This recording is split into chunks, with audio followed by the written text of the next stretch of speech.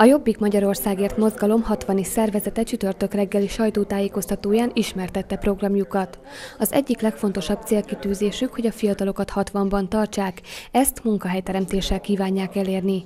Ehhez a helyi vállalkozásokat akarják segíteni, hogy azok 60 munkaerőt alkalmazzanak. Nem feltétlenül a leglátványosabb beruházások azok, amik a legjobbak, bár kifejezetten örülök annak, hogy gyönyörű lett a főtér, megújul a városháza, a, a zeneiskola, tehát látom, hogy, hogy folyamatosan azért történnek fejlődések, ez nagyon pozitív, csak kérdés az, hogy kinek fejlesztünk. Hogyha most a mi felmérésünk szerint a fiataloknak kb. az 50%-a nem itt képzeli a, a jövőjét, de hát egy, akkor egy előregedő város lesz, és uh, akkor kinek mentek a fejlesztések, vagy kinek, kinek a javát szolgálják a fejlesztések. Mi hosszú távon szeretnénk gondolkodni, nem a, nem a következő öt éves ciklusra, hanem sokkal hosszabban. A fiataloknak pedig kultúrát szórakozási lehetőséget szeretnének biztosítani, hogy a szülők se aggódjanak a gyerekeik felől. Olyan, ami biztonságos, ahova nyugodtan elengedhetik a szülők a gyermekeket kontroll alatt vannak, és ezt mind-mind a helyi fiatalok igényeihez igazítanánk, hiszen ne döntsük el azt, hogy ők hogy szórakozzanak.